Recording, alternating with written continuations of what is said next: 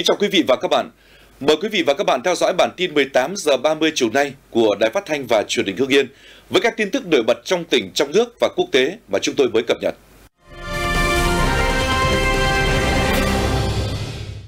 Thưa quý vị và các bạn, phát biểu khai mạc tại hội nghị sơ kết 2 năm thực hiện chỉ thị số 15 ngày 8 tháng 11 năm 2021 của Ban Thường vụ tỉnh ủy Hưng Yên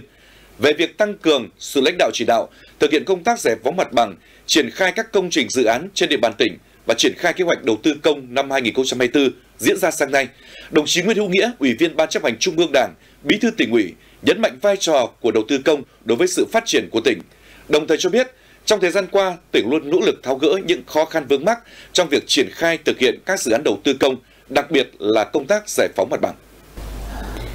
Đồng chí Bí thư tỉnh ủy đề nghị các đại biểu đóng góp các ý kiến nhằm nâng cao hơn nữa việc triển khai thực hiện các dự án trên địa bàn tỉnh với tinh thần vượt nắng thắng mưa, hoàn thành tốt kế hoạch đầu tư công của năm 2024 cũng như giai đoạn 2021-2025. Kể từ khi có chỉ thị số 15 của Ban Thường vụ tỉnh ủy, tổng số dự án cần giải phóng mặt bằng trên địa bàn tỉnh là 569 dự án công trình với diện tích trên 5.087 ha. Trong 2 năm qua, tỉnh Hưng Yên đã hoàn thành giải phóng mặt bằng 322 dự án với tổng diện tích gần 3.800 ha, trong đó có 15 dự án trọng điểm. Năm 2024, tỉnh Hưng Yên kế hoạch vốn được Thủ tướng Chính phủ giao trên 19.921 tỷ đồng, trong đó đầu tư các dự án quan trọng quốc gia liên kết vùng là 1.122 tỷ đồng, thực hiện kết luận của Ban chấp hành Đảng bộ tỉnh, nghị quyết của Hội đồng Nhân dân tỉnh, Ủy ban Nhân dân tỉnh đã phân bổ chi tiết kế hoạch vốn năm 2024 cho các cơ quan đơn vị, các chủ đầu tư dự án.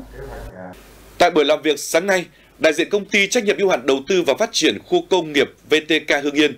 và đoàn công tác của công ty LG Energy Solution Hàn Quốc đã kiến nghị với tỉnh Hưng Yên một số nội dung như tỉnh hỗ trợ việc thực hiện các thủ tục xin giấy chứng nhận doanh nghiệp công nghệ cao, đề nghị tỉnh tạo điều kiện trong quá trình đầu tư các chính sách về ưu đãi thuế, đảm bảo cung cấp điện và nước sạch, hạ tầng viễn thông, xây dựng ký túc xá cho công nhân.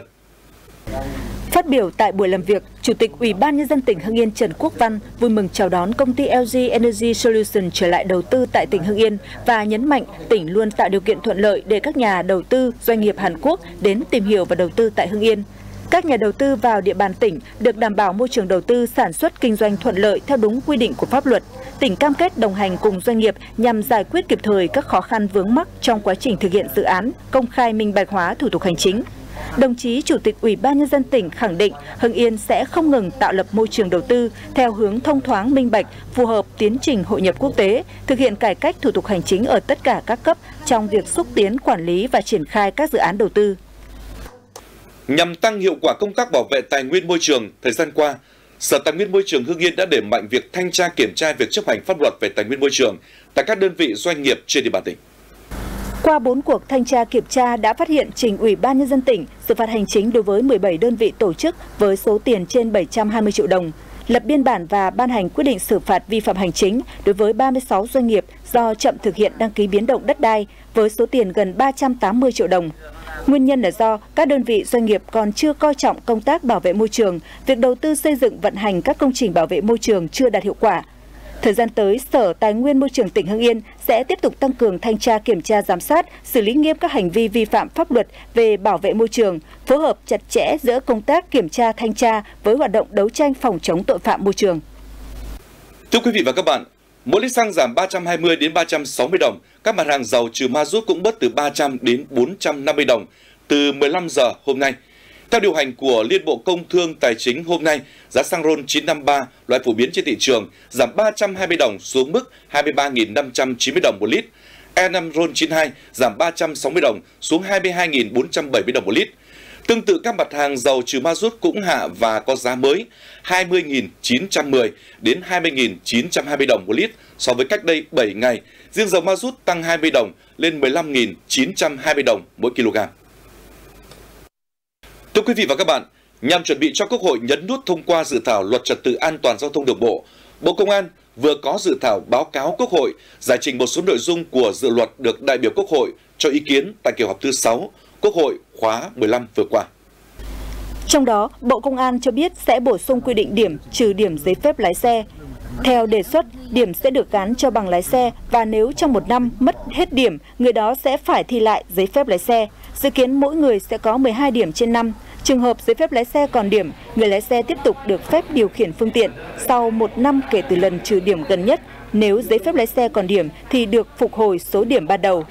Quy định này được đánh giá tích cực, giúp nâng cao ý thức và kỹ năng của người tham gia giao thông, đồng thời là cần thiết để đáp ứng yêu cầu thực tiễn, đảm bảo trật tự an toàn giao thông. Giá vé máy bay neo cao, khó mua trong dịp Tết khiến nhiều khách hàng gặp khó khăn. Ngày 21 tháng 2, Cục Hàng không Việt Nam đề nghị các hãng báo cáo về việc bán vé máy bay dịp Tết Nguyên đán 2024.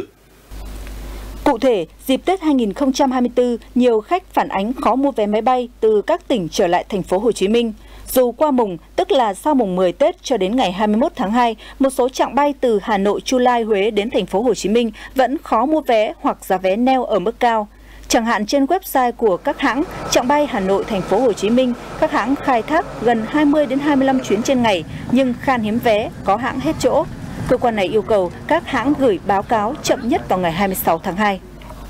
Công an tỉnh Sơn La vừa trao thưởng thành tích xuất sắc của ban chuyên án và các lực lượng tham gia đấu tranh thành công với đường dây mua bán trái phép ma túy trên địa bàn. Trước đó, ngày 19 tháng 2, Ban chuyên án do Phòng Cảnh sát điều tra tội phạm về ma túy Công an tỉnh chủ trì phối hợp với các đơn vị chức năng tổ chức bắt quả tang Mùa A Sánh sinh năm 1973, trú tại Sơn La, đang vận chuyển trái phép ma túy qua khu vực bản Trong Khâu, xã Ngọc Chiến, huyện Mường La. Tăng vật thu giữ gồm hai bánh heroin, một điện thoại di động, một xe máy và một số vật chứng liên quan khác. Tiến hành khám xét khẩn cấp nhà đối tượng Sánh, lực lượng chức năng phát hiện thu giữ một khẩu súng quân dụng cùng 15 viên đạn và 680 triệu đồng. Đấu tranh mở rộng điều tra, ban chuyên án tiếp tục bắt giữ hai đối tượng khác trong đường dây, thu giữ thêm 800 triệu đồng là tiền mua bán trái phép chất ma túy.